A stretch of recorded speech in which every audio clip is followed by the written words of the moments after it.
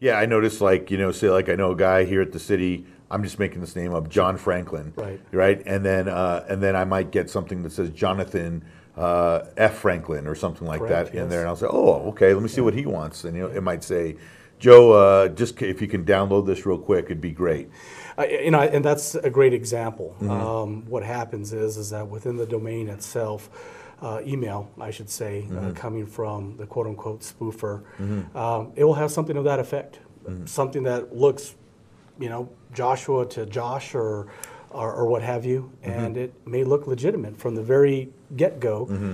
But then when you start scrutinizing a little bit more of what that email address is and Mm-hmm. where it's really coming from, uh, that's when the red flag should really go up. Yeah, and what I always do, and I don't know if this is, you can tell me if I'm doing the right thing.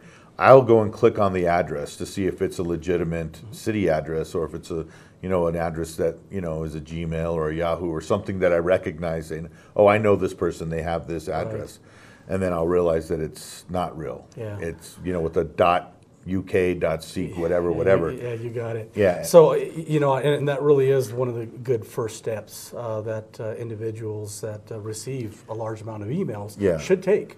And when you think about it, uh, you, you think about these these bad guys that are sending out all these emails. Mm-hmm. And what's really interesting is that there are some various steps that an individual can take Okay. to actually, um, you know, put some legitimacy on it. So Okay. number one is where is it coming from? Okay. Where's that domain?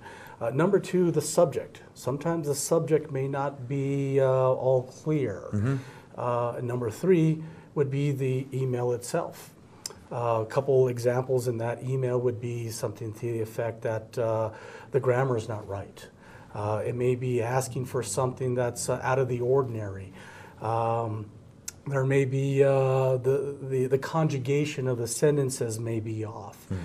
Uh, and the, the, the signature block on the, the bottom of the email may be something that you've never dealt with before. And so, again, those specific emails are really to trick an individual. Basically, it's what, it's what you call social engineering. And so, um, a lot of these bad guys know that they that wherever they're sending it to, there may be IT help there, and so um, most IT departments are in the midst of a migration or changing out emails or you know whatever the the, the activity may be, and so the bad guys prey on that. And so they hope that they can get somebody that says, oh, hey, the city of Santa Fe is migrating over to a new email system.